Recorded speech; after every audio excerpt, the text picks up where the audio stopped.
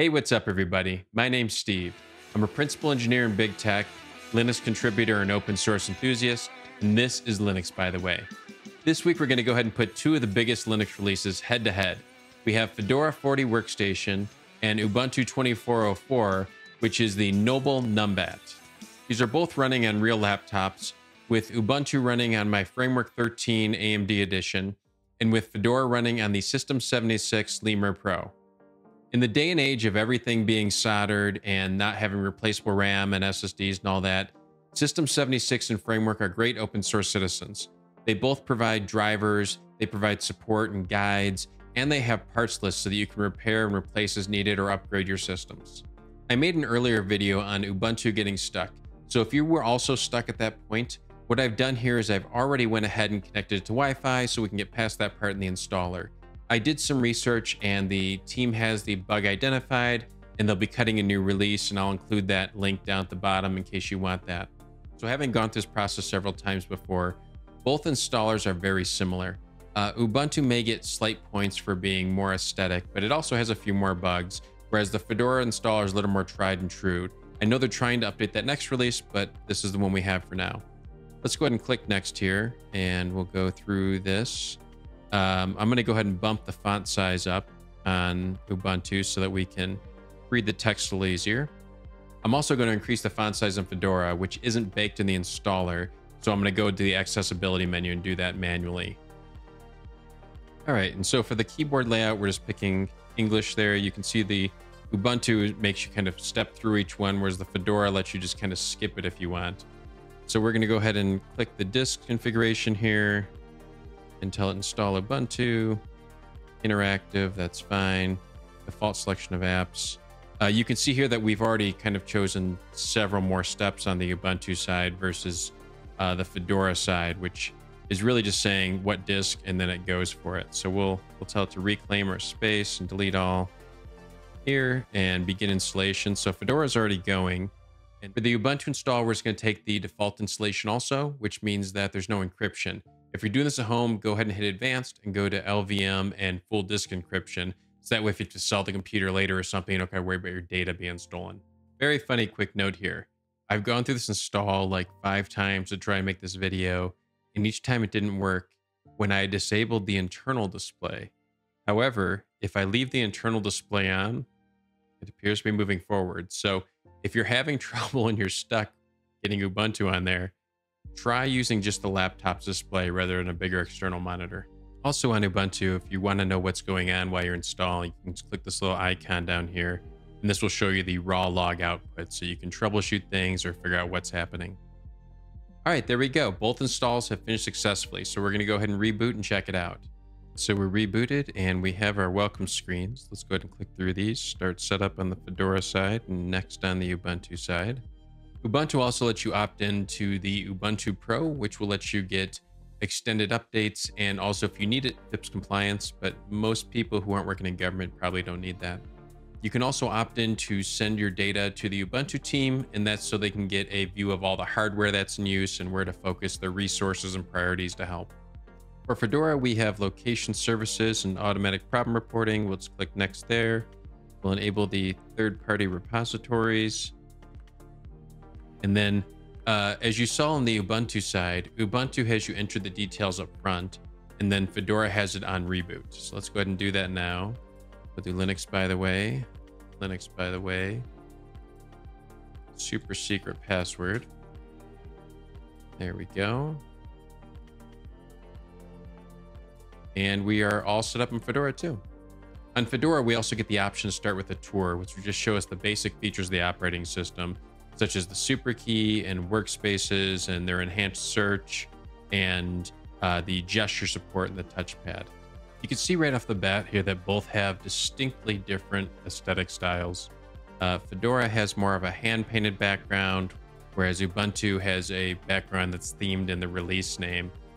Fedora ships with multiple backgrounds, and they're all very different style from what Ubuntu ships with. So you can see some are like hand-drawn, and some are very abstract. Uh, let's go ahead and set this to dark mode.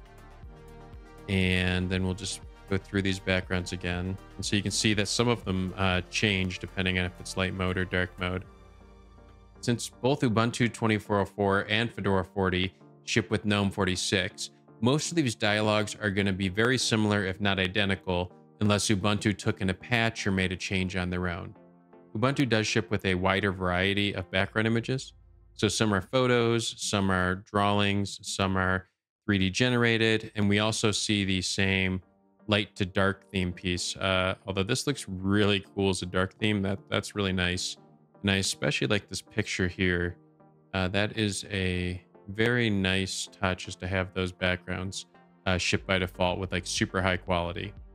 Next, let's go ahead and take a look at the stores on each. So on Ubuntu, we have App Center, and we can go ahead and search for Steam here as an example of a app that most people want installed. So we have Steam, and we'll click install on that and enter our password. There we go. So that's installing. And on the Fedora side, we can go ahead and go to software, which is very similar in design. Uh, and we will search here for Steam also. On this one, like I had in my Fedora 40 review, the logo is broke, but the installer appears to work fine. And you can also see the details here. So when you're looking as to where you're installing it from, uh, you can install it from RPM Fusion non-free or Flatpak. And the Flatpak logo does look good. One of the nice things about Ubuntu is they also include multiple channels for Steam. So you can see here we have a beta channel, we have a release candidate channel, there's an edge channel and a stable channel. So that way you can run and get the newest features if you want, or if you don't want your system to break, you can just run the stable one and wait for those changes to come to that release. And there we go. So both of them installed. And let's do the big test where we click open and see what happens. So if we swap between Fedora and Ubuntu, we can see that these are fairly identical uh, with just slight style differences. This one doesn't have a minimize button, whereas Ubuntu does have minimize button right here. Also, I have large text enabled, and on some of these, you can't actually like resize this to see production or development. Uh, it just gets truncated there. There we go. We have Steam successfully logged in on both, and as you can see, the experience looks fairly similar. There might be a slight difference in terms of the colors or the fonts there. Uh, this one looks slightly more blue, and this one looks slightly darker to me. Uh, that sort of go with the theme of each. Let's go ahead and install one of the all-time classic games, which is Factorio. If you're a computer programmer, it's oddly similar to that. We go ahead and click install.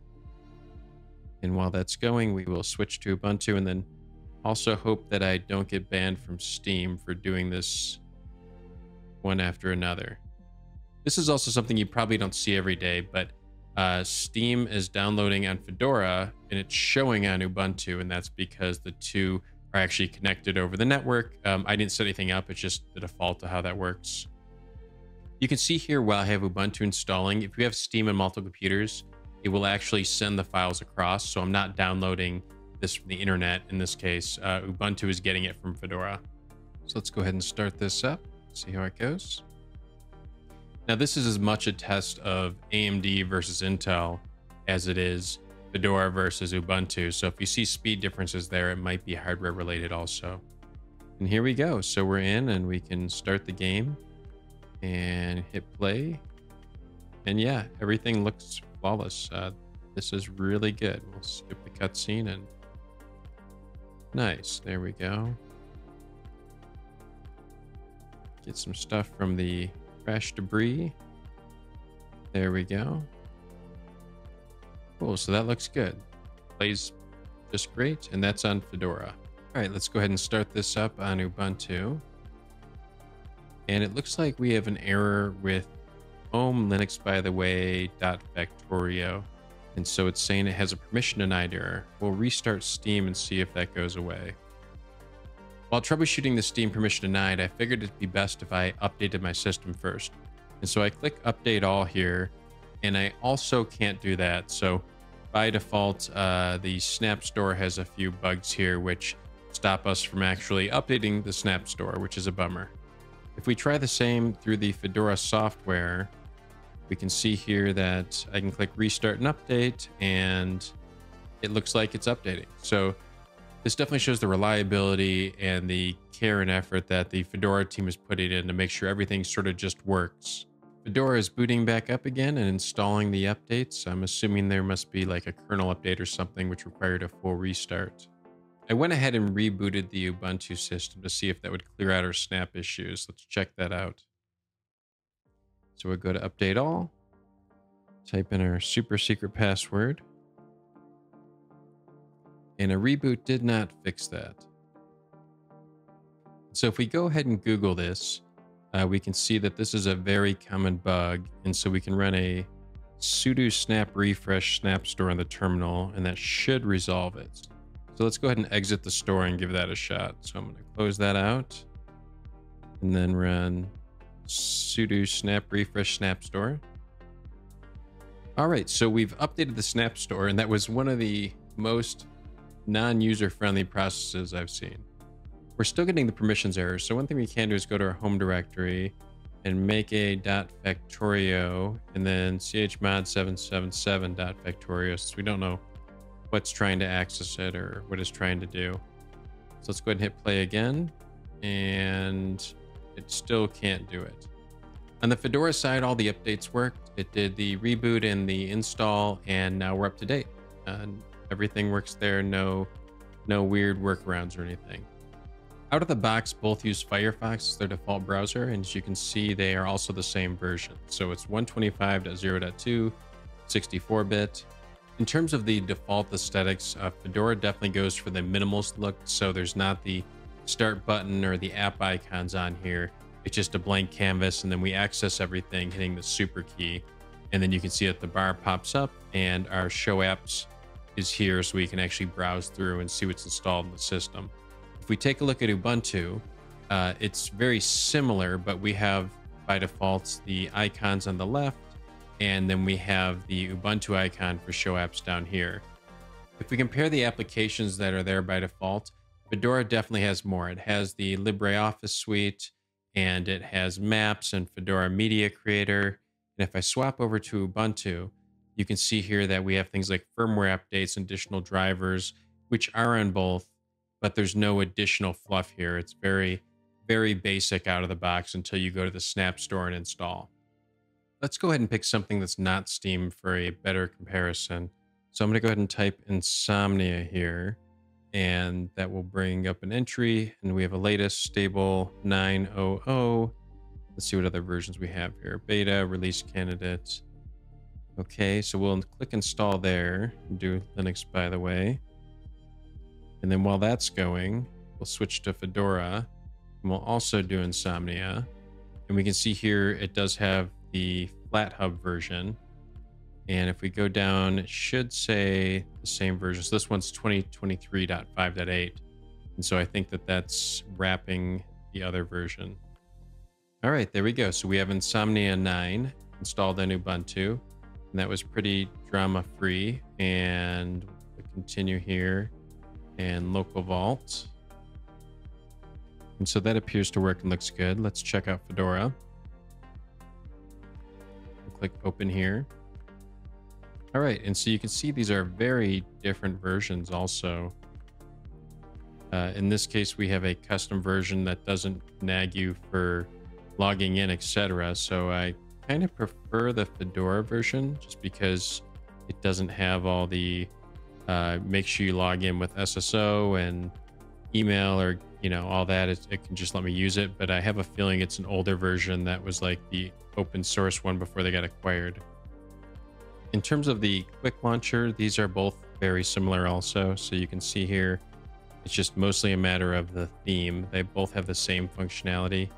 Uh, this one has keyboard because I have a USB keyboard plugged in and the other one doesn't. If I go ahead and click screenshot here, that looks like the GNOME 46 screenshot. And we'll do that. And then if I switch to Ubuntu and I click screenshot up here, that looks like the same screenshot functionality. If we compare the notifications, uh, these also look identical. Comparing Ubuntu 2404 and Fedora 40, you can see that they're very similar. They both use GNOME 46 They both have very similar stores and applets and applications available, but it is clear that the Fedora system is much more robust and reliable. So far on the Ubuntu side, the installer didn't work and I had to work around that. And then also the Steam installer didn't work, which meant that I couldn't actually run Factorio. Whereas on Fedora, it was no problem at all. Everything on Fedora has worked so far very well. In terms of appearance, it is clear that the Ubuntu team has excellent designers. I really like the look and feel of it. I love their backgrounds. I love their themes. The fonts look really good. Ubuntu gets a 10 out of 10 for just style points. On the Fedora side, we do get the ability to mimic the Ubuntu styles. So we can change our background and we can change the themes to make it look better. But out of the box experience wise, Ubuntu wins on looks. What the comparison really comes down to though is how fast can Ubuntu improve? Ubuntu is coming from a place of relative strength because they have a very large desktop Linux install base, which means they're going to be getting a lot of bug reports and feedback and iterating. And they also have a company behind there with a fairly decent amount of developers that can get some fixes out quick. On the Fedora side, well, it already works. And so they'll continue on their six month release cycle and improving and iterating also. But their user base is a little smaller and some of the restrictions are a little heavier in terms of free software versus not free software. In terms of what I'd recommend today, I would say definitely go with Fedora 40. If you just want to play your games and browse the web or do whatever, it's going to work out of the box. With Ubuntu, it needs a little more time to bake. Hopefully there'll be a point release in a couple months here, and they will have fixed all of these initial release bugs, and then we'll be on par with Fedora 40 with the much nicer backgrounds and theming. What do you think? Which one would you pick? Let me know in the comments below, and I'll see you in the next one.